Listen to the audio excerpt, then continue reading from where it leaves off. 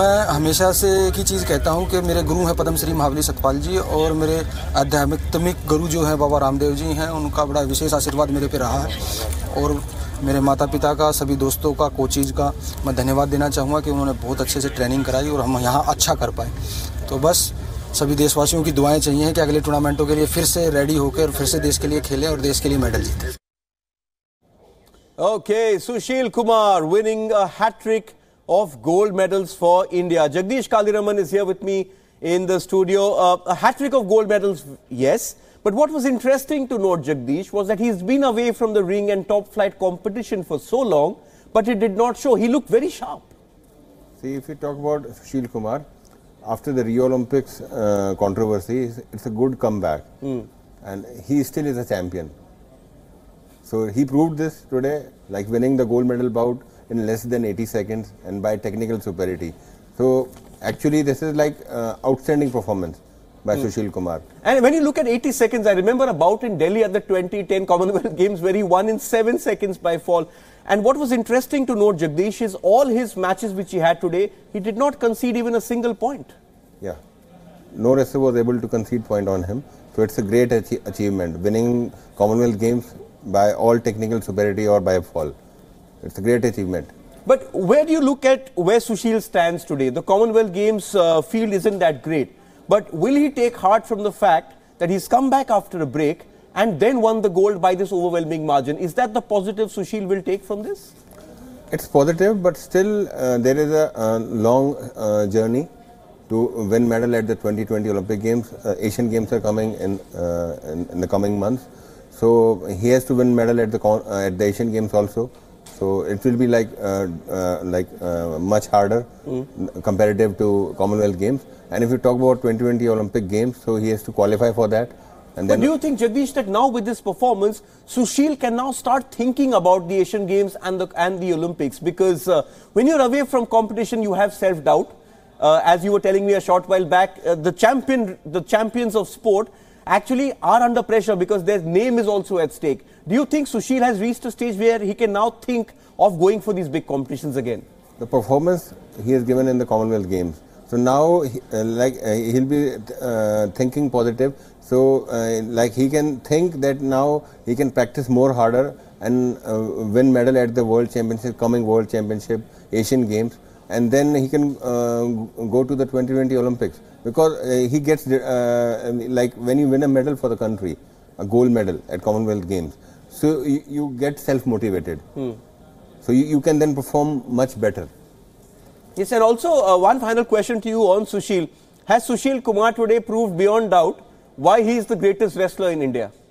Yeah, definitely he's proved that he, he is the best wrestler of India and uh, one record, uh, first he, he has won two consecutive Olympic medals, mm. two Olympic medals. First Indian athlete in the individual game. Then if we talk about the Commonwealth Games, first Indian wrestler to win three gold medals at the Olymp uh, at the Commonwealth Games. Mm. So like it's a hat trick. So it's a great performance by Sushil Kumar. In the women's 53 kg category, where Babita Phogat lost the gold medal bout against Canada's Diana Weicker. Babita, a gold medalist in the 55 kg category at the last games, was expected to win this time around as well but she ran into a determined opponent who matched her strength for strength and asserted better technical superiority. Phogat's attacks were countered twice in the second period and yielded points for the Canadian. Phogat could not find a way past her and lost about 2-5 to settle for the silver medal. And making it four medals for India on the opening day of the wrestling action was Kiran Bishnoi, who bagged the bronze medal in the women's 76 kg category. Kiran breezed through her opening rounds to enter the semi-final, but she was comprehensively beaten by Nigeria's Blessing Onyebuchi on technical superiority. But she rebounded by defeating Katus Kia Paria Dhaven of Mauritius 10-0 inside the first period to seal the bronze medal. Jagdish Kaliraman, uh, you know Rahul Balasaheb Aware. He's been on the fringes of the Indian team for a long while. We saw him crying during uh, the national anthem when he had the gold medal round his neck. It just has been a very tough journey for him, but nice to finally see him achieve a, a sort of uh, global recognition, if I could say so, at a multidisciplinary games.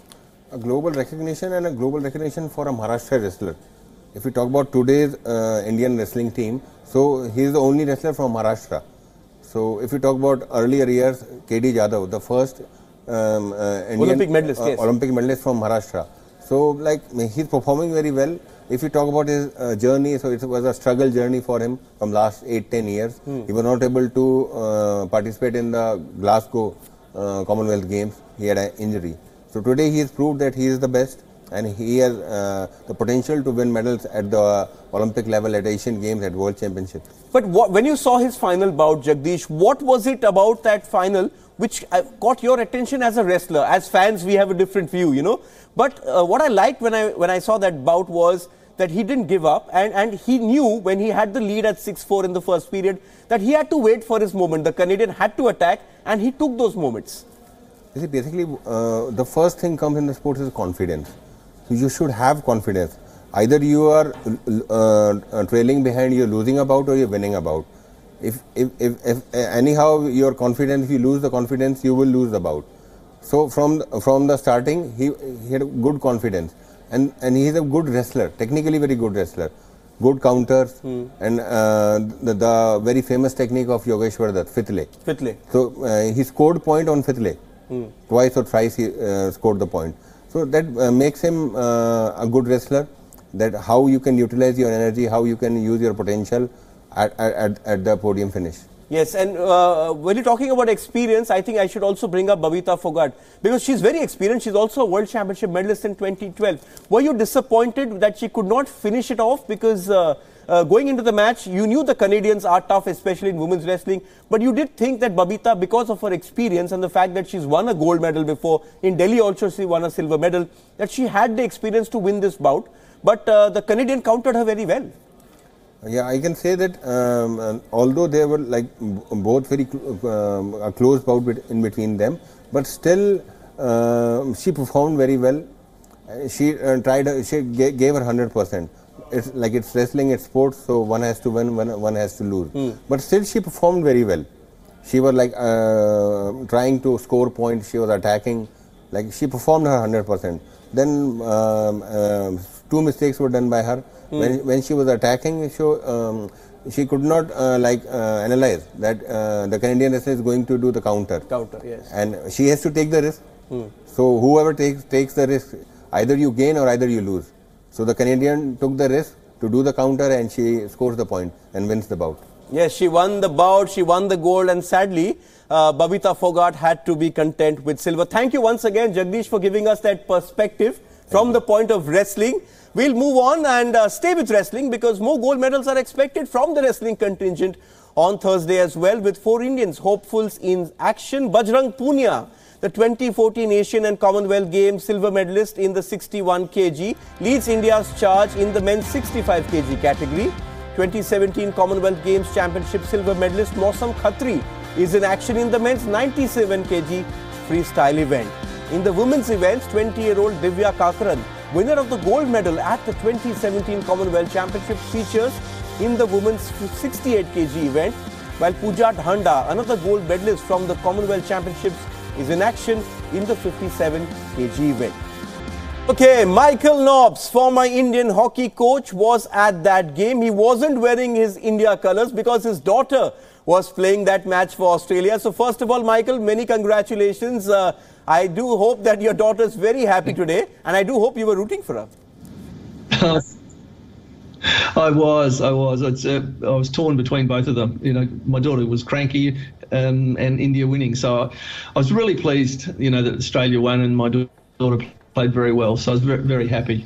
Okay. But, but as a game, you know, the India. Australia. Go on, sorry. Yeah, yeah. So I was saying, yes, uh, you may be happy. We are Yeah. slightly disappointed, Michael. But what a game! Uh, India were not expected to really push Australia all the way. They dominated possession, and when they go back and when they go back to the village and they think how they played, they can hold their heads high. This wasn't a performance to be ashamed of. Yes, they lost, but they really fought hard.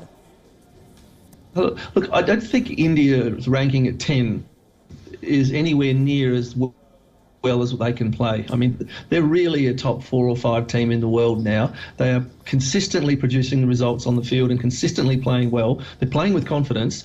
You know, if they just uh, improve in front of goals, I mean, they'll, they'll certainly be doing really well. You've got to remember that the, the, most important thing is not so much the Commonwealth Games, it's the Asian Games coming up, because mm. that's your direct entry into the Olympic Games. And if they keep doing, if they keep improving, they keep playing like they're doing now. I mean, they knocked off England, um, which is the second top team in the world, and the Olympic champion. If they can keep doing that, you know, they're going to do really, really well. So I would, I, although there's a tinge of disappointment that they lost, and they still have a chance of playing for the bronze medal. And if they could pull that off against England again, that will be a real feather in their clap cap they will have made at the top level. Okay, now while the women's team slipped up, the men's hockey team will look to seal a third consecutive final appearance when they take on New Zealand. In the semi-finals on Friday, the men's team are unbeaten in the competition and seal their spot in the semis with a thrilling 4-3 win over England with two goals in the last two minutes to ensure a top place finish in the group. Sjoerd Marijne's side have overcome a slow start in the competition and are starting to hit the levels they have displayed in the last year. India's recent record against New Zealand is pretty impressive, with the Indian team winning twice against the Black Sticks on the tour down under earlier this year. Michael, how do you look at this one panning out? Because uh, New Zealand have been a strong team in the past as well. They've caused India problems. But the recent record of Sjoerd Marijne's side is good. And, and we saw India finally, in that sense, play to potential, what we know they are capable of in that game against England look, they're India now. I mean, they go into this match as favourites. I mean, they beat New Zealand quite convincingly quite a few times now, uh, and I don't think they should have any fear of New Zealand. They India now knows how to win. I mean, they consistently win. Even when they play poorly, they still win. They fall over the line. Not a good team is that the, the self belief in these players will will they'll win. They will win, and it's so. I think they should really be confident going into this game, and I expect them to be playing off for the, the gold medal match on Saturday. Okay, and where do you think this battle is going to be won, uh, Michael? You know, India have Sreejesh in goal. You know that Sreejesh can be counted on to keep those uh, New Zealand attacks away. But we saw a fantastic performance from the midfield in that game against England, especially led by the captain. Is, is that where the battle is going to be won? That Manpreet will once again have to play a starring role? Ooh, look, um, the battle of the midfields is always interesting anyway. And Manpreet has, has now shown that he's a class class player. He's played nearly 200 games now, I think. But what I was pleased about is Sreejesh. Sreejesh had a slow start to the tournament. He was making fundamental little basic errors that you don't normally see. But you've got to remember he's just come back from a, a major injury. So he's now played himself back into form.